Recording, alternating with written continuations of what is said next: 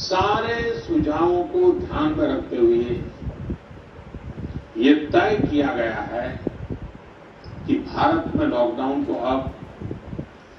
तीन मई तक और बढ़ाना पड़ेगा